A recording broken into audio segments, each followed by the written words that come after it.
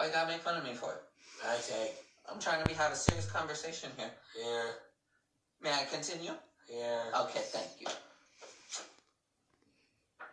What words of wisdom do you have for siblings who have a sibling with Down syndrome or another type of disability? Great question.